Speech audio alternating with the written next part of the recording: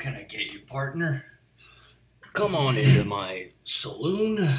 Pull up a chair there, for goodness sakes, please.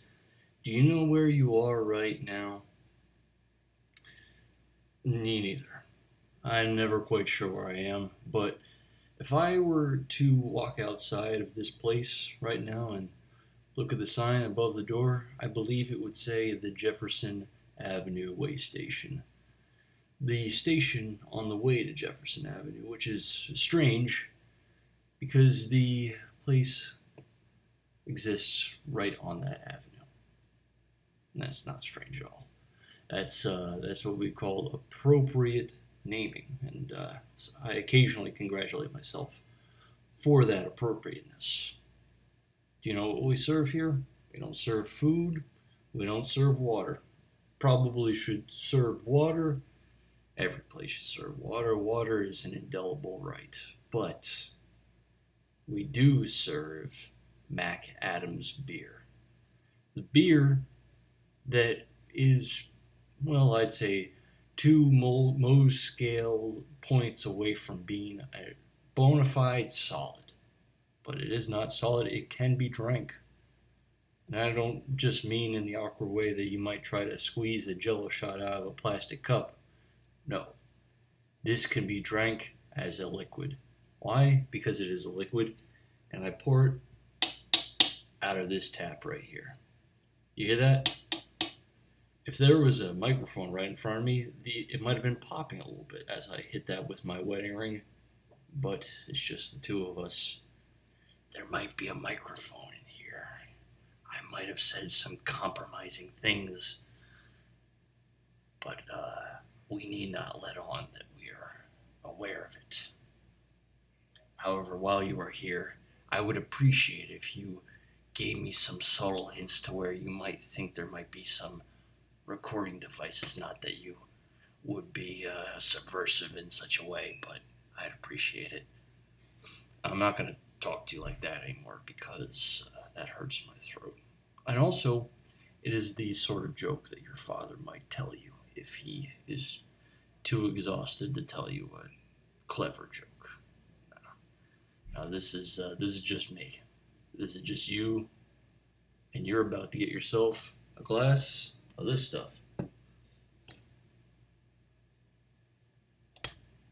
There you are, right to the line in the cup. Bring it down all the way down your esophagus. Now I'm going to be silent for a while here. I'm gonna, just going to look at you and watch as you drink this and see how you enjoy it. Do you enjoy it? Do you enjoy beer? Did you think that there was another sort of beverage here? There isn't. This is the only thing I serve, and it is $10 uh, per each one of those glasses right there. Some think that's a steep price, but, well, MacAdam's beer cannot be found anywhere else in the world.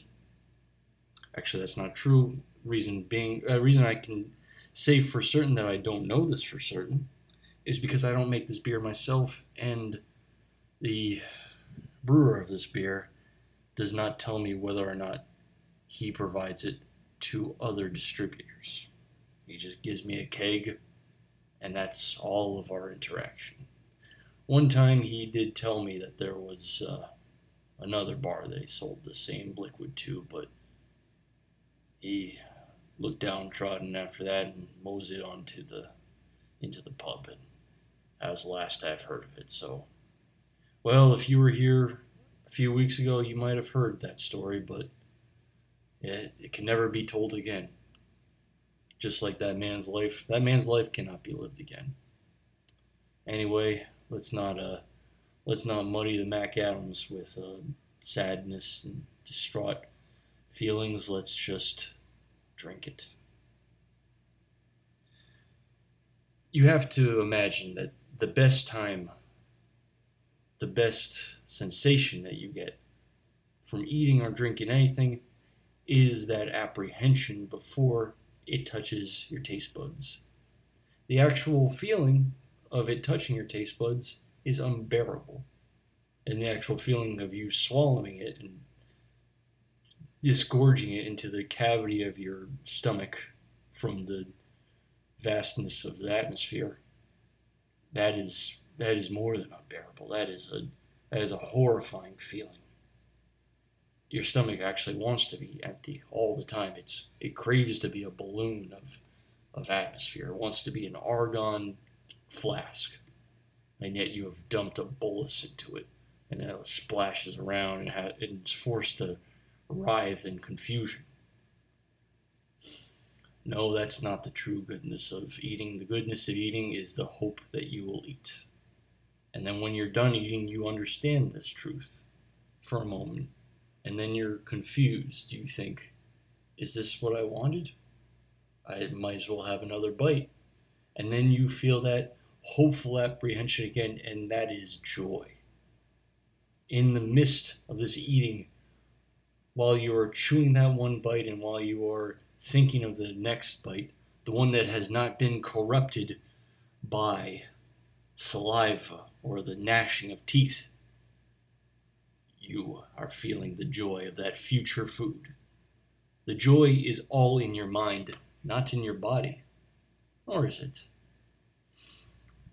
Well, the Bodhisattva might uh, not agree with me there. That was the truth that he wanted to bring down from the mountain pass of Tibet into the southern reaches of China. He was he was bringing a, a truth that he had learned far, far away in, in a land that the Japanese called uh, Tenjiku, which I, there's an English word for that, but I did not pay attention in our geography classes.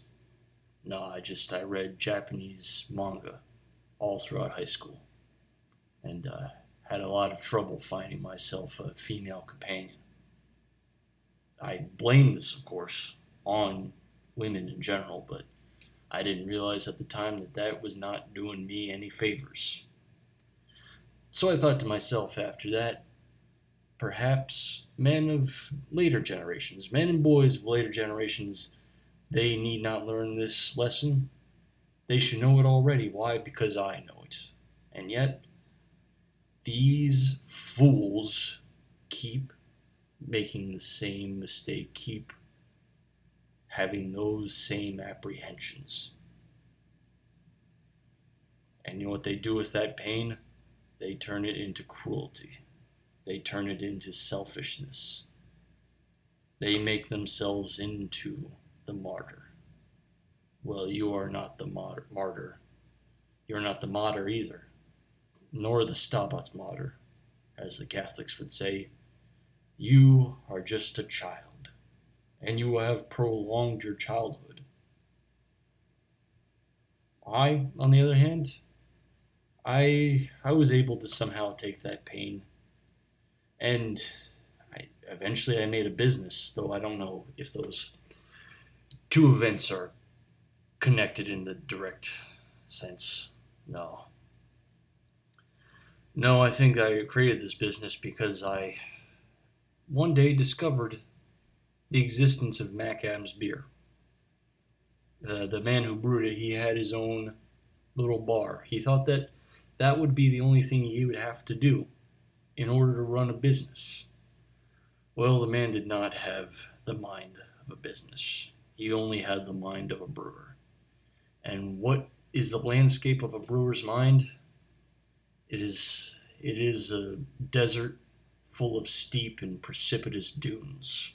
It is a desert where hard, jagged stones are hidden beneath the sands and poisonous gases occasionally rupture from unknown pockets as they shift like a horrifying bubble, like an octopus breaching from the depths that the octopi don't generally do that to be true, but well, my imagination got the better of me at that moment. In short, the man was uh, he was still a child. He had been spurned, or at least in his words, spurned as a teenager from the girl that he, I, I believe he lusted after, but he said he loved her. She did not have similar feelings for him, and she, and well, he thought that that made him shallow Did it make him shallow? No, it didn't make her shallow. That's what I'm asking. I'm getting the subjects of this story mixed up. Why? Because it is very hot in this bar. Have you noticed that? Only thing that's not hot is that MacAdam's beer, which is strange because, as you can see if you look underneath this bar where the keg is sitting, it's not refrigerated. No, that's the unique thing about any sort of room is usually where your feet are. That is where the cool air is. No energy needed to refrigerate it. Uh, sometimes this uh, man who made the MacAdam's beer while he was trying to run his business, he would get a little too warm in his business. He would start to sweat and repel any uh, prospective customers. So he'd lie down on the cool floor. He'd try to have that uh, that lack of heat seep off of his body from convection. Uh, eventually, that he realized this didn't work, so he replaced all the floor in his bar with steel grating. You see, because he was a he had an interest in the making of computers, and he understood the makings of a heat sink, which is really just a little metal grill, a little tiny uh, webbed metal grill like you might see on the outlet of an air conditioner. And he thought, why not on the floor of a bar? You see, because uh, there's no air conditioning here, there's really just a, a tin roof. This man thought himself to be uh, technologically minded and engineer minded, but he didn't realize that this roof was not made out of tin, it was made out of corrugated steel. But he was trapped in the past in more ways than one. I tried to tell him the story of my own, uh, thinking that I'd relate to him and hopefully knock him out of his self imposed fantasy. I told him that there was a. Oh, now she's a woman, but then I guess you could call her a teenage girl in my high school who I had affection for. I had yearned after, and uh, she did not feel this way for me. She was a kind person. She was a a, uh, I would call her an empathetic person, but she did not feel physical attraction for every man that felt that same attraction for her. Was she unique in that fashion? No, she wasn't. Most people only feel that attraction for, I'd say, five people in their life. And that number gets lower and lower and lower as you age. As you age, you well, you begin to feel very little. And at one point, you don't feel anything, not even inside your mind. There is a point in which even the feelings inside your brain are gone. And you're just thoughts. You're disensouled thoughts. You, you're, you're a conscious being, but you do not have emotions. I, I'm, I'm actually relatively close to that and uh, I'm wa- awaiting the next step, which is the extinguishment or the extinguishing. I, I guess that's the vowel or the, the that's the noun. I'm waiting for the extinguishing of those thoughts in general, and then I will be nothing at all. And uh, I began my life trying to grasp this concept of personal nothingness, of obliviation or uh, obliteration rather of the soul. And uh, at first, it just began with confusion.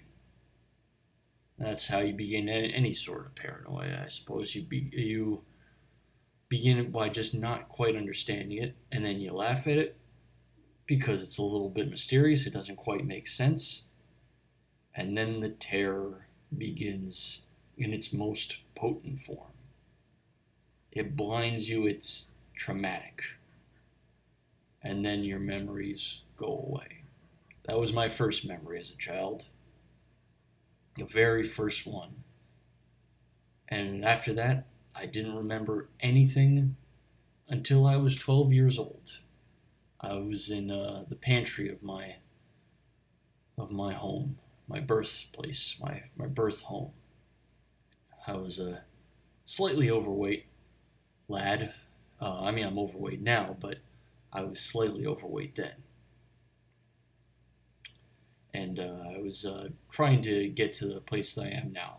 I was uh, searching for cookies in this pantry, and I found some. And while I was searching in this pantry, I was searching through space in my mind. I was trying to find meaning, meaning to myself, and I grasped upon the idea that at some point my life will end and the continuity of my consciousness will come to, will it will terminate. I will terminate. I will be terminated. And then i thought to myself well how can i grasp this state? How will i use my normal mental faculties to evaluate it? And then i thought well those won't be there. And then i thought well how would i respond to this emotionally? Those emotions will not be there and then I thought, how will my state exist at all? How will my being exist at all? It won't. There will be no basis. And as I was thinking this, I had already placed the cookie in my mouth and I was chewing it. and thought to myself, well, I'm I'm already on my way there steadily. I'm expediting this process right now, so I felt the terror there in earnest, in my conscious earnestness. My life really began when I was 12 years old. That's where my memories truly began. That's that was when I really started to become an adult. Perhaps this this brewer of MacAdam's beer, perhaps he uh, perhaps he just needs to think about death a little bit before he thinks about women or anybody else in his life. Before he thinks about any other human being, he should just think about death. And then he'll just have a existential horror that will last a few decades. And then he'll he'll be all right. Like me, I, I think I'm all right right now.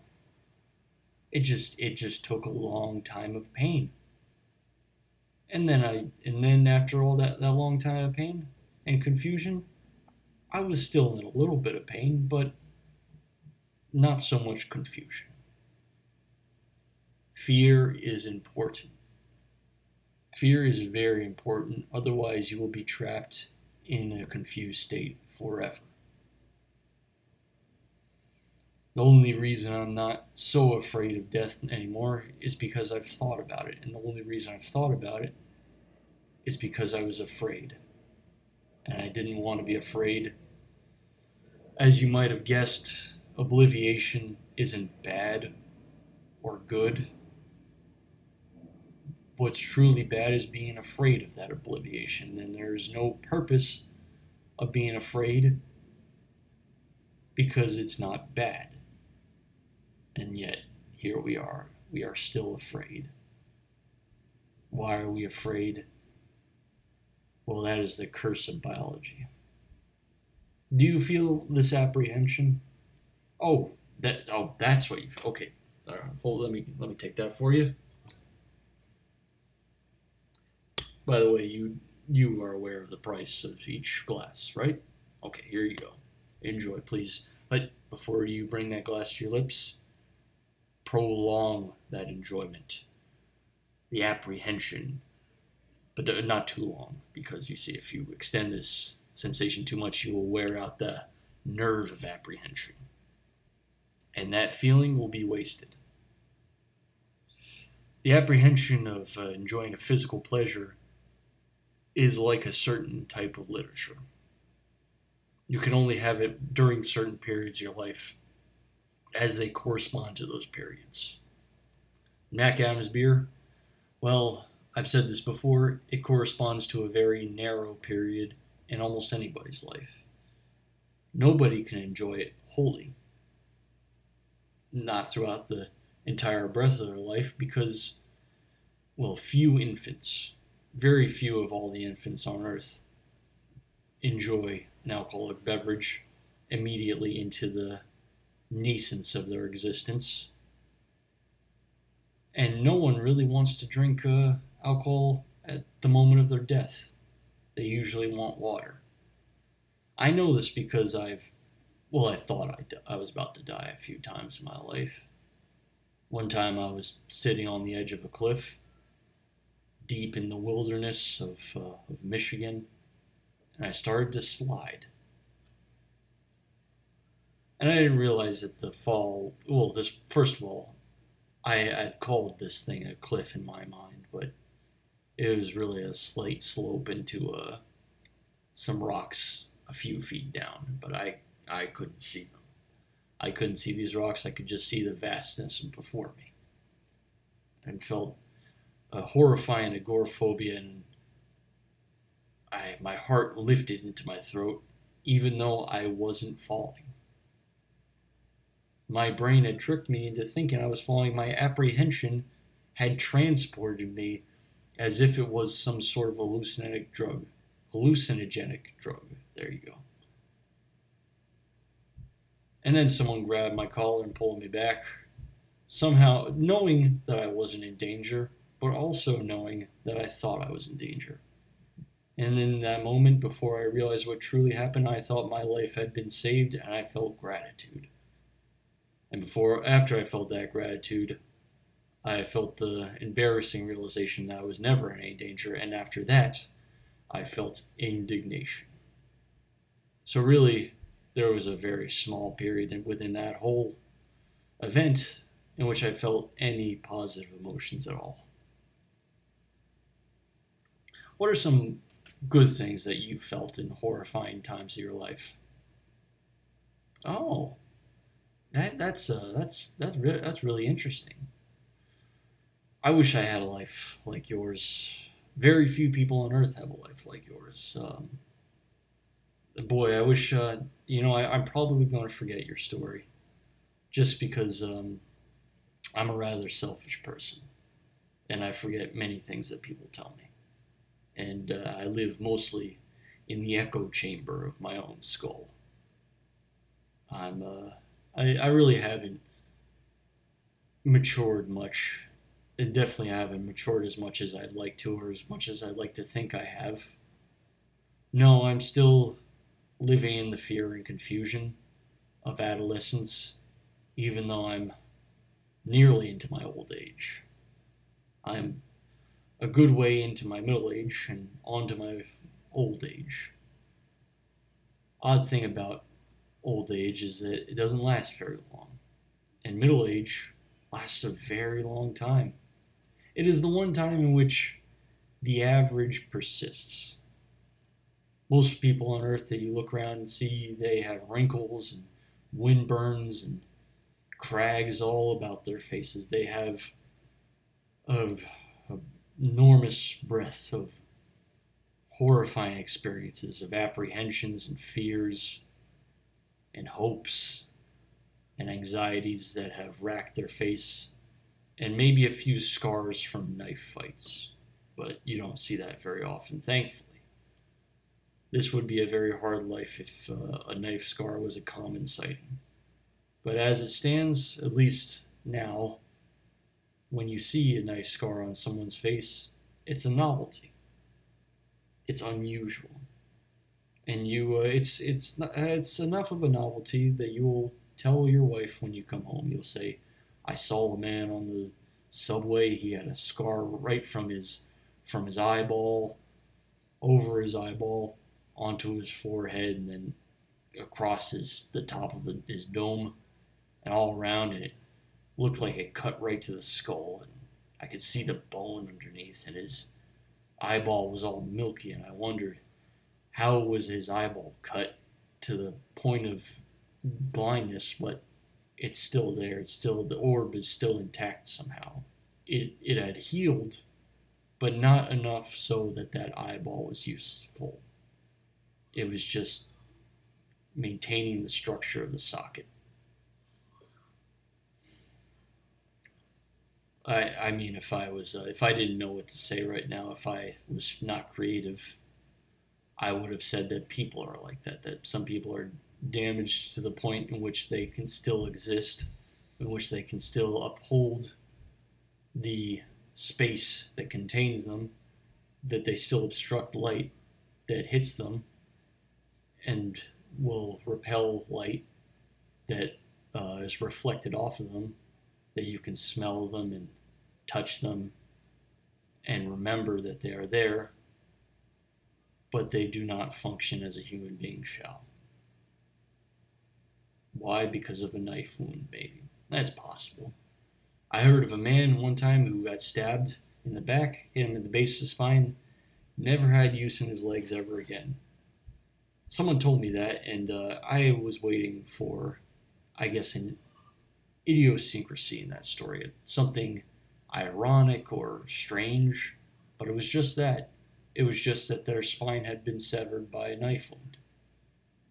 And I said immediately, that's there's that's not a good story. That's just tragic. It's like Hamlet. Uh, that's the thing. Some interesting things happened in there, and it was also tragic. It was mostly just terrible people squabbling amongst each other, but I guess it was. I mean, there was a ghost in there, I believe. So there you have it. But I don't believe that this uh, knife wound story that this person told me involved any sort of disembodied specters whatsoever. Anyway, I'll have to say goodbye now. You have a good night.